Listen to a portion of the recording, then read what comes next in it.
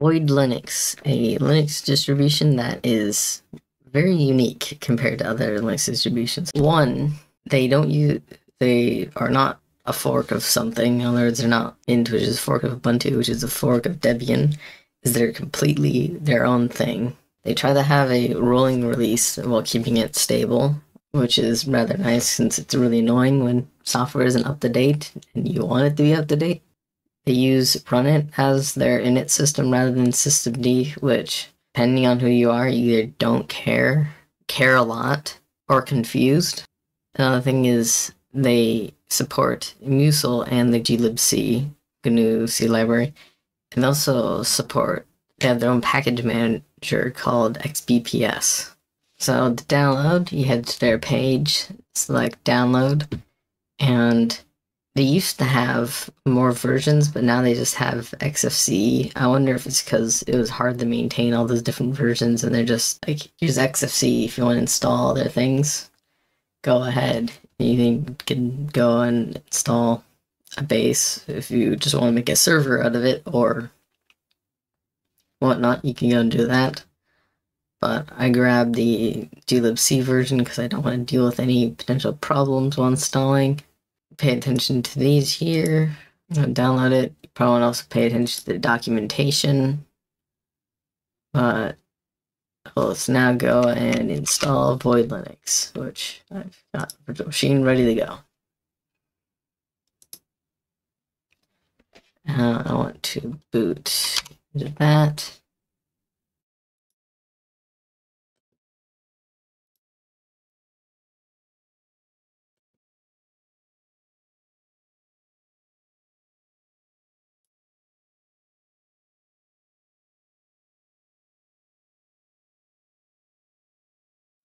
That was uh, rather fast, but XR er, 1920 80 I need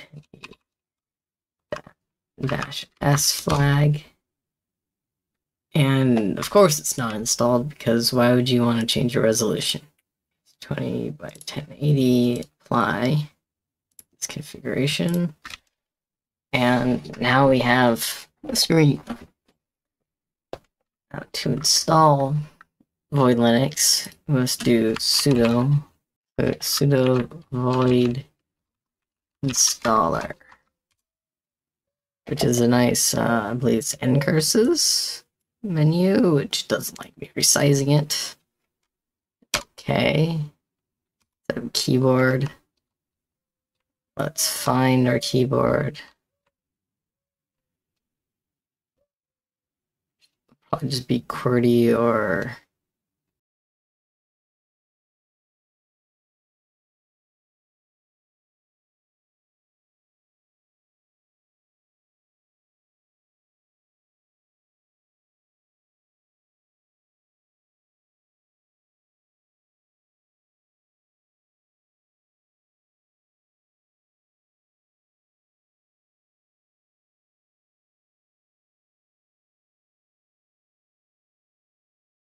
Ah, there, US. Those little small. Let's make see if this make helps it at all. Network. Uh. Oh, that's my device. Yes. Like to use DHCP. And I crashed the installer. Oh, okay source, source installation. Let's do this just because it'll be faster. Host name.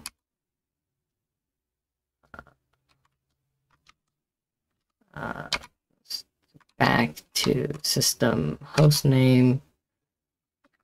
Avoid VM. It's probably good enough. Cal I need the US UTF-8.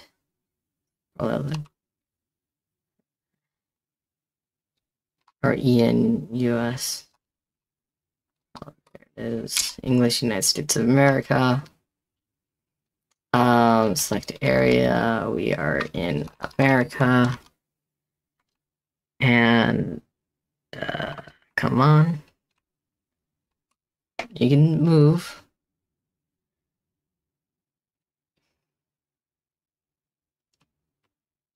Go. Come on. I kind of just want to set it to Chicago since it's right there. So we're in LA. There you are.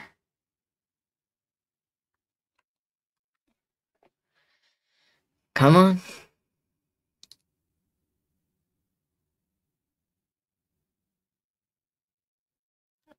I don't think it's moving, so it's like, nope, that's not it.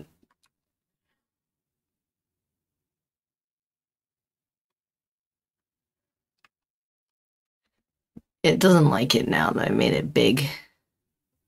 Let's uh let's just restart it. Alright, let's, let's start over from a full screen window.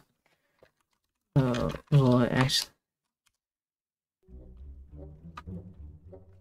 There we go. Introduction. Network.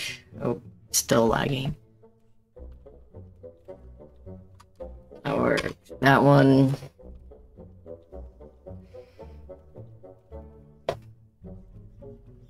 Yes.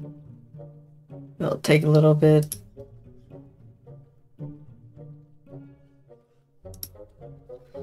Network's working.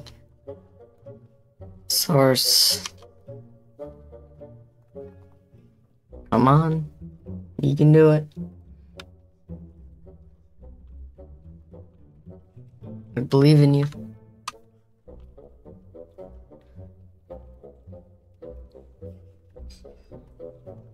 Go and do local. We can update later. There. Oh, no, I don't want Zimbabwe. Dang, it's gonna choose Zimbabwe, isn't it? Nope. Come on. We can move. Los Angeles. Now it's moving perfectly fine. Password. Complicated password.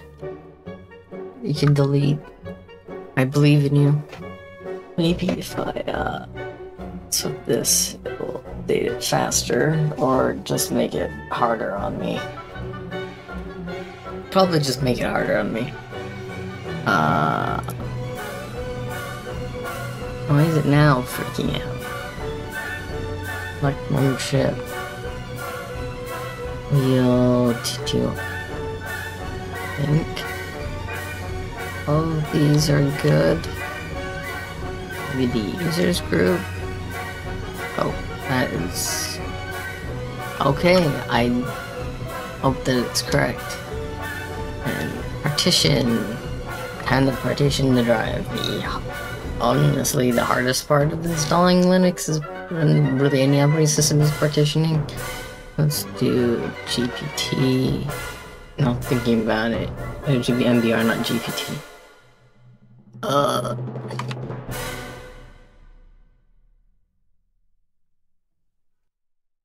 Partition disks. cfdisk. I want to select DOS.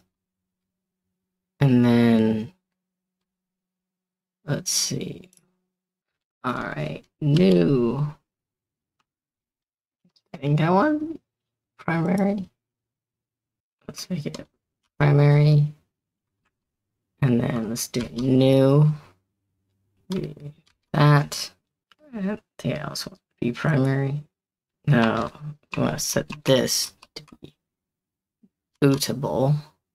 And then right. And then it should do its magic. And then now we can quit.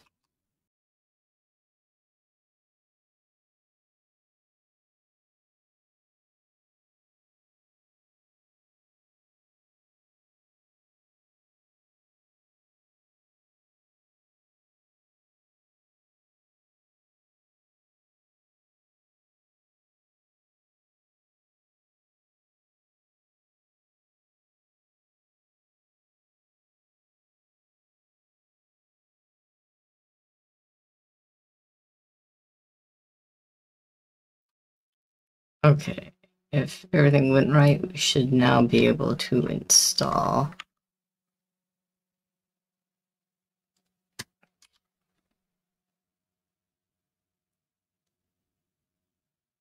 So let's install and hope it works.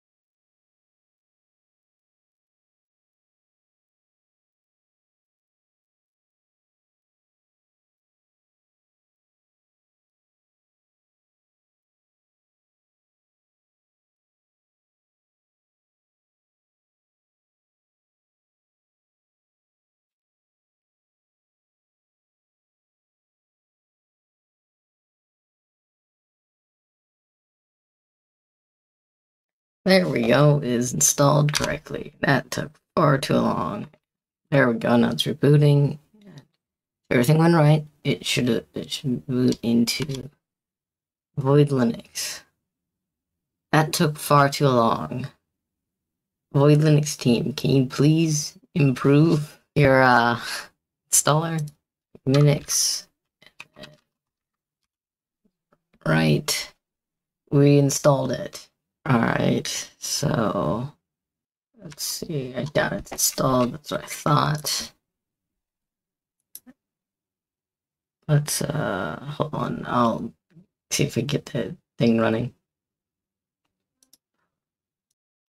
Okay, we're back and I learned don't install VirtualBox uh, drivers because this will happen. So don't do that. Okay, so First thing I'm doing installing is do a sudo xbps install. To and that should do a upgrade. Then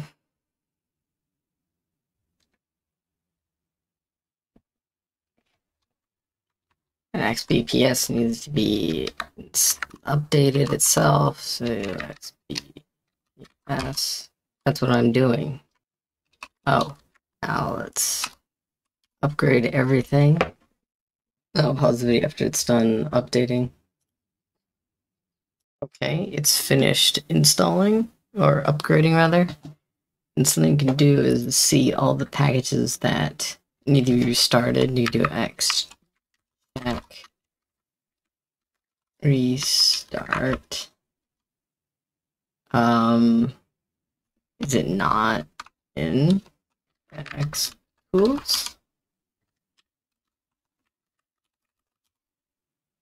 Oh, that's wrong.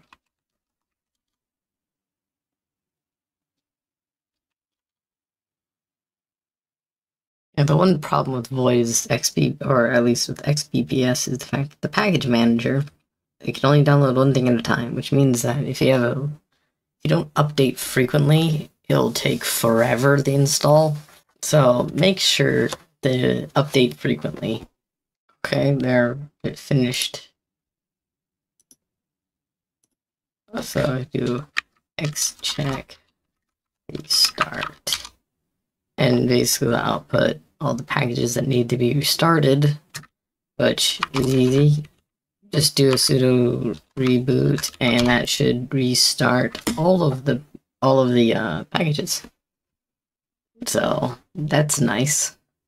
Alrighty, now that everything's up to date, now since you're using Void, you probably want to know basics of using the runit system. So to do it, everything should be run as root. You do sv up to start a service, down to stop a service. Uh, come on, restart service, and then like with the that output of x check restart, you can technically write a script that restarts all those things, but we're not going to do that today. And then status to get the status of a service. So, good example would be DHCP which is the DHCP daemon. Fill load.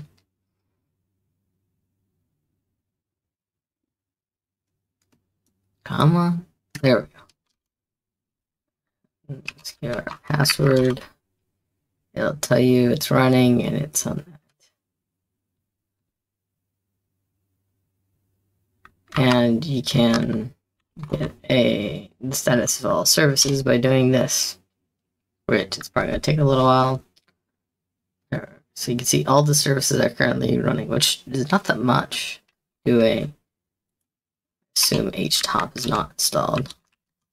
That's what I thought. Top. Come on. You can do it. See, see that it is only using uh, two, uh, 20, 290 megabytes. Neat. Oh, why? Uh, oh, let's test. So, sudo sv down. Let's do dbus. I don't think that's a good idea, but let's do it. I see something. Oh, yes, I thought was a bad idea. Uh, um, let's um, um, sudo sv up dbus there. So this should now work. So that's an example of of enabling and disabling a service.